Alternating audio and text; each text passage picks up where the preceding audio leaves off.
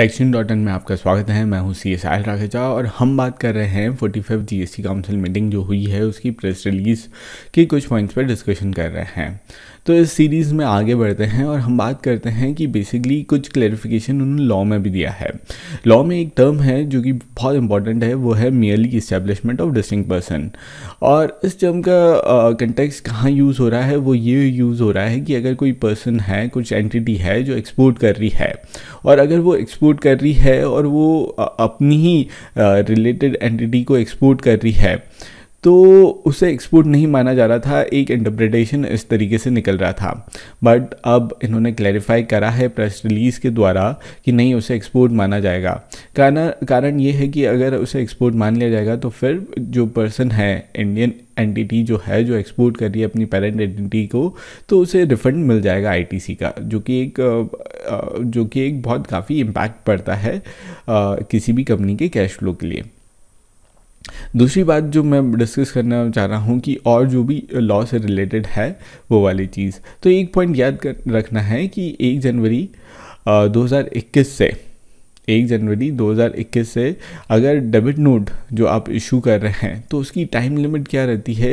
ये आप आ, किसी ने आपको डेबिट नोट दिया है तो उसकी टाइम लिमिट क्या होती है? तो पहले डेबिट नोट जो था वो अंडरलाइंग इन्वॉइसेस से लिंक था और इसलिए अगर किसी ईयर का इन्वॉइस है और डेबिट नोट बाद में हो रहा है और अगले साल का सितंबर क्रॉस हो चुका है तो डेबिट नोट के आईटीसी मिलने में रिस्ट्रिक्शन होती थी।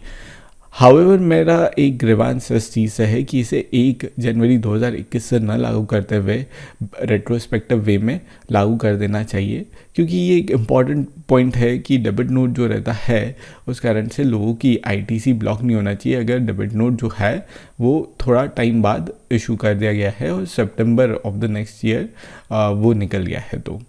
तो ये वाला एक पॉइंट और कंसिडर करना चाहिए जीएसटी काउंसिल को दूसरी चीज़ ये है कि आ, सरकार ये बोल रही है कि अगर आपको ई इन्वॉइस इशू कर दिया गया है किसी भी सप्लाई के द्वारा तो फ़िज़िकल इन्वॉइस कैरी करने की ज़रूरत नहीं है। ये भी एक क्लैरिफिकेशन उन्होंने दिया है।